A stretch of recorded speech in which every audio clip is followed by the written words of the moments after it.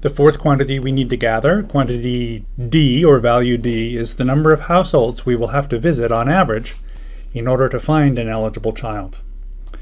In some cases, you'll be able to get this figure from the Bureau of Statistics or the census. They'll be able to tell you something like, on average, every third household will have a child between the ages of 12 and 35 months.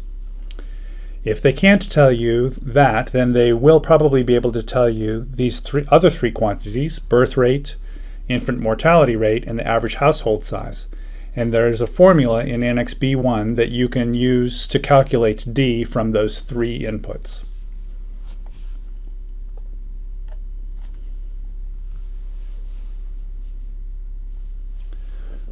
The last factor that we gather is uh, value E, the inflation factor for non-response.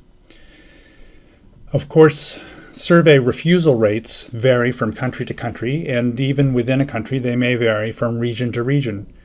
Urban respondents might be more likely to refuse to participate in your survey than rural respondents. There should be survey professionals who have experience in your country who can tell you or suggest what proportion of eligible respondents are likely to either refuse to participate, or not be at home. Of course, the proportion of people who are not at home, this can vary from season to season and from region to region for agricultural reasons and for cultural reasons.